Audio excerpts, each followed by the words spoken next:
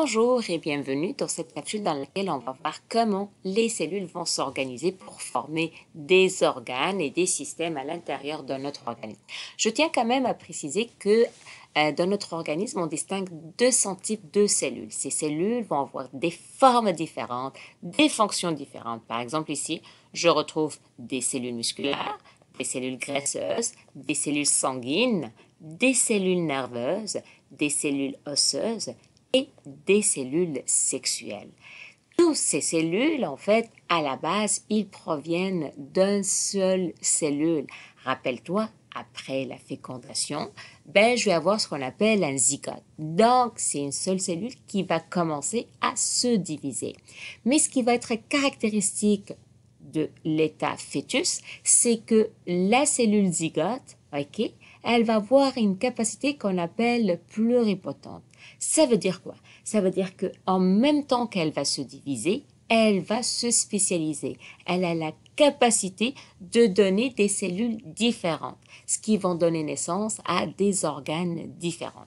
Par exemple, ici, je peux partir d'une seule cellule, ça se divise, je vais avoir des cellules nerveuses, des cellules musculaires et des cellules sanguines. Et tout ça pour donner, par exemple, le système nerveux, ça va donner le cœur et ça va donner le système circulatoire.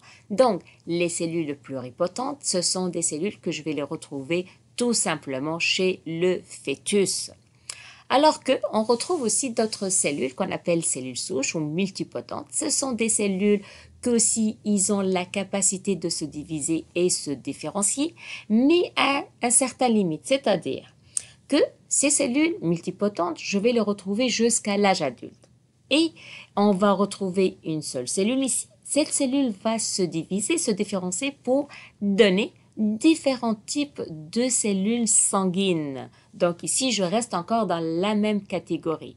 Par exemple ici, donc la cellule qui vient de la moelle osseuse peut donner des globules rouges, des globules blancs ou des plaquettes. Euh, ces cellules peuvent s'associer, peu importe les différents types de cellules, pour former quatre types de tissus musculaires. Le tissu musculaire, euh, quatre types de tissus cellulaires. Donc, le premier tissu qui va être responsable du mouvement, on appelle ça tissu musculaire.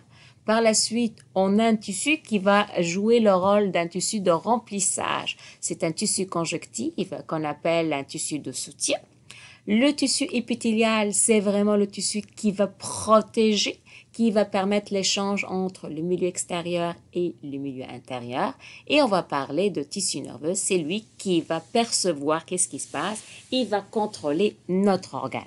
Les quatre types de tissus, ils vont être présents à des proportions différentes. Ils vont former ce qu'on appelle des organes. Et chaque organe va avoir une fonction bien déterminée. Par exemple, l'estomac va assurer la digestion. Le rein, c'est la filtration.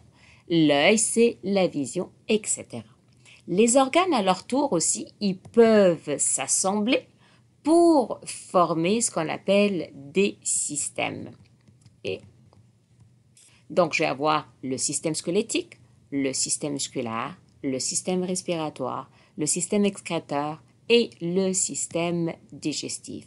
Je peux aussi avoir le système lymphatique, le système reproducteur, le système nerveux, le système endocrinien et le système tegumentaire. Et dans les prochaines diapos et les prochaines capsules, on va aborder système par système et on va voir les liens qui se trouvent entre ces derniers.